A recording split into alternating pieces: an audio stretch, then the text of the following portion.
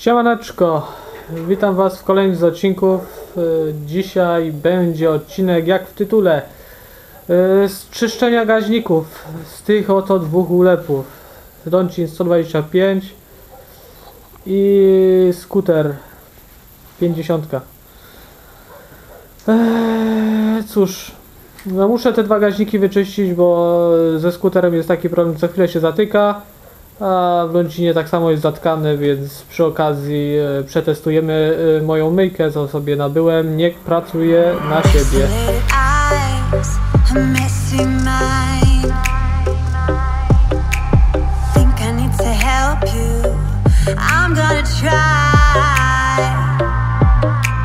Cute as hell, baby. Hotter than flames.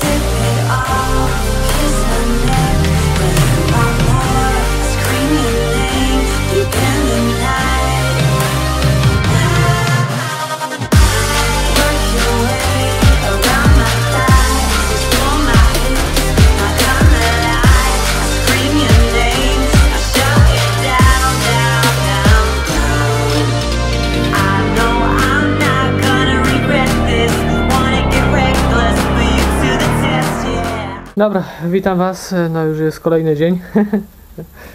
Eee, Cóż, e, jest to wszystko wyczyszczone.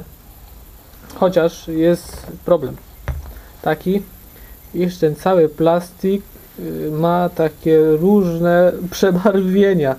Nie wiem od czego. Na jakimś etapie prawdopodobnie zrobiłem błąd.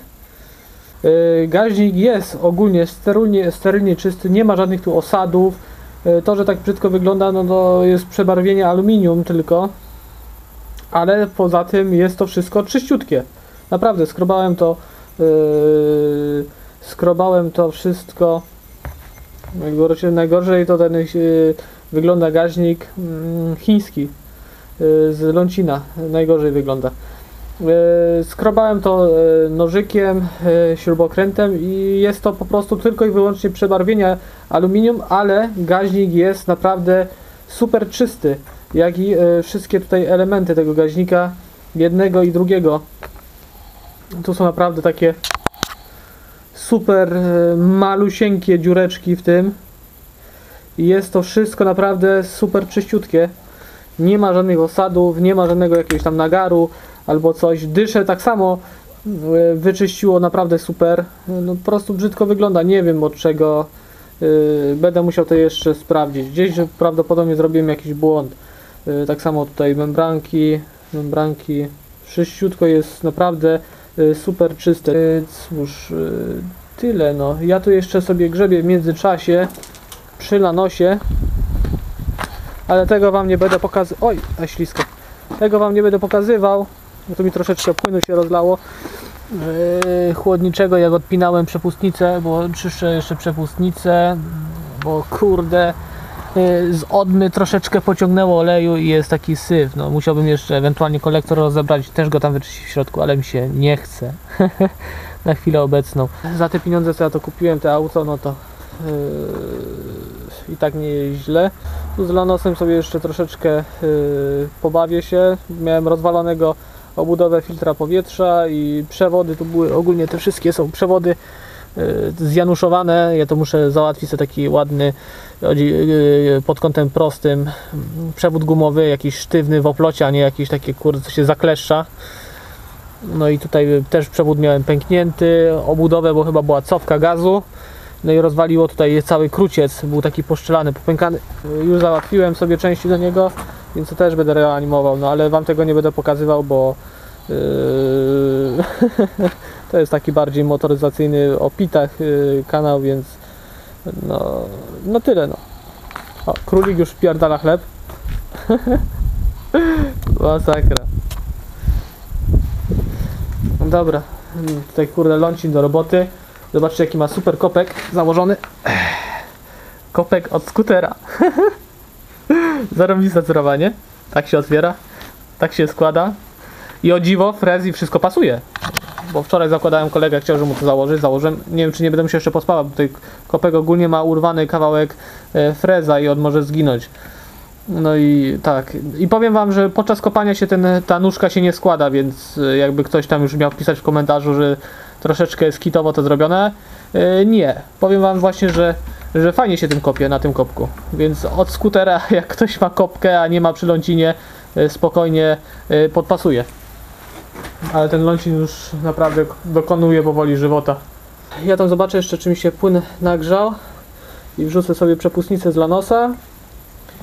I widzimy się e, po krótkiej przerwie. Dobra, gaźniki pozakładane przy jednym, przy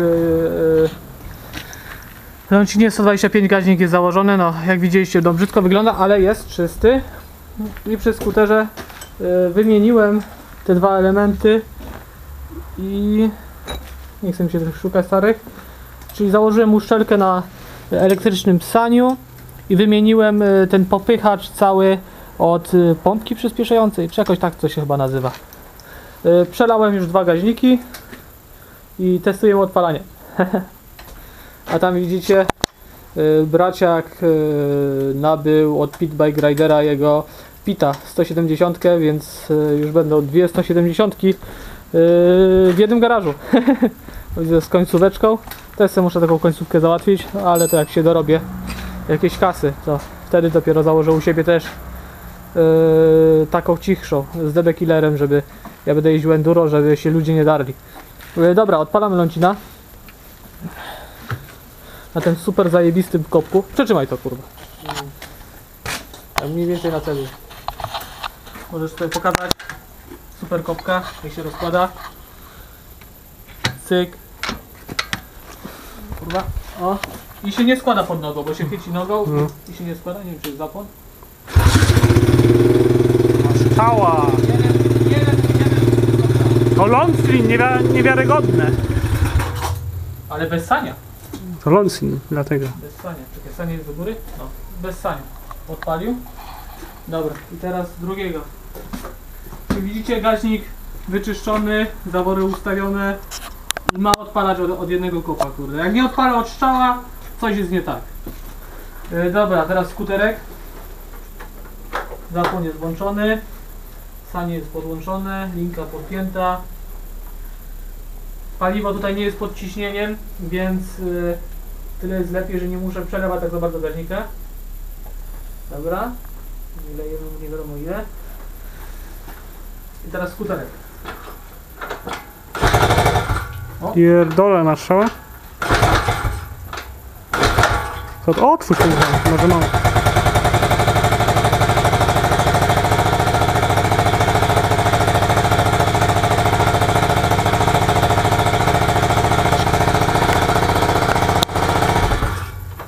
Tutaj mi się wydaje, że tutaj będą zawory do przeregulowania. Bo tak nie, na początku nie chcę trzymać obrotu.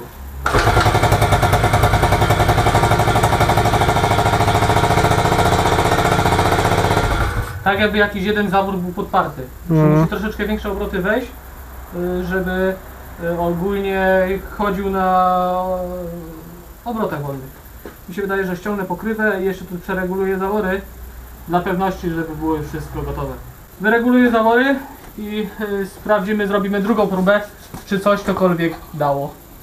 Więc widzimy się po przerwie. A few moments later.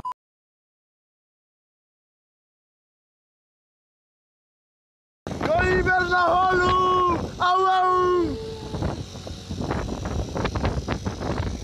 Pełna profeska, kurwa!